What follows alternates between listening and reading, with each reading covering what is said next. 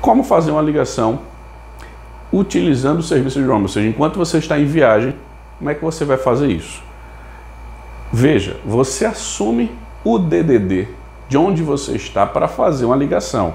Então, se você é do DDD 11, foi para o DDD 19, você fazendo a ligação é como se você fosse do DDD 19.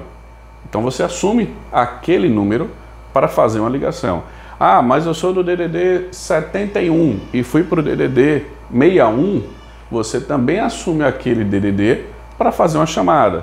Ah, eu sou do DDD, sei lá, 44 e fui para o DDD 23. Você também assume aquele DDD para fazer uma chamada. Independente de onde você é de origem, aqui, quando você está em roaming, você está em viagem, você assume aquele DDD para você fazer uma chamada. E aí existe a consideração de, de, raciocínio de uma ligação local e uma ligação interurbana. Esqueça seu DDD de origem ou o usuário ele não deve raciocinar dessa forma.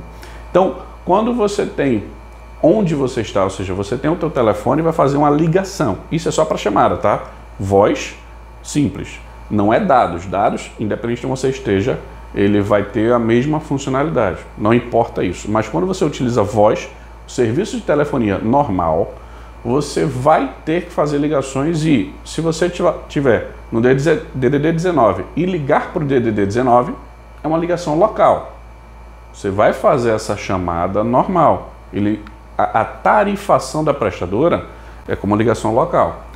Mas se você estando no DDD 19 fizer uma ligação para o seu de origem, que é o 11, por exemplo, você do 19 para o 11 é uma ligação interurbana. Então você vai ter uma tarifação, você pode ter uma cobrança diferenciada ou não, dependendo do seu plano contratado. Mas o tipo de ligação ele é diferente, é uma ligação interurbana.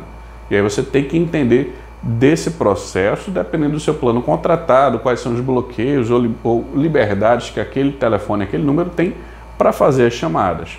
Mas fazer uma ligação em roaming, ou seja, em deslocamento, você tem que prestar atenção nisso, porque normalmente o usuário acha que ele pode fazer qualquer tipo de ligação e ele sai fazendo.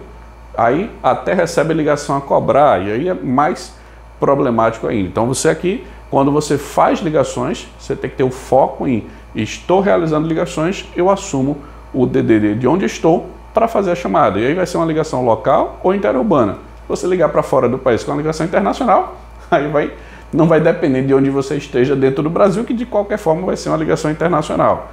Mas, você ligando para a região, o DDD onde você está, é uma ligação local, mudando o DDD, é uma ligação interurbana.